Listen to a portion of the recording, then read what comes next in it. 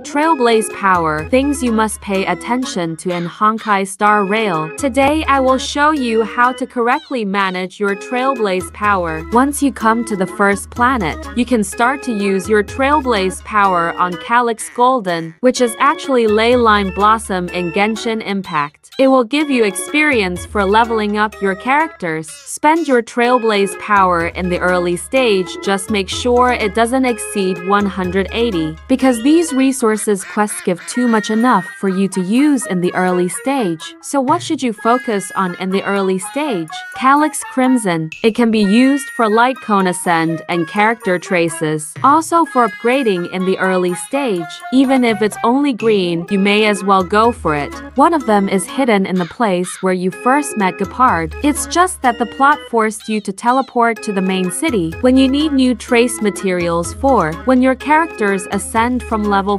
40 to 50, then go to Shape of Quanta. At the same time, you will unlock Cavern of Corrosion. Do not touch it. Don't waste any of your Trailblaze power. It is the same with Genshin Impact here. If you have the right base stats and full level, then you can pass the main line with ease. Before you get Gold Cavern of Corrosion at level 50, go upgrade your character level, weapon, and trace instead. Also, weekly events like Destruction's beginning. Otherwise, it will become a painful account. Follow me to avoid all mistakes.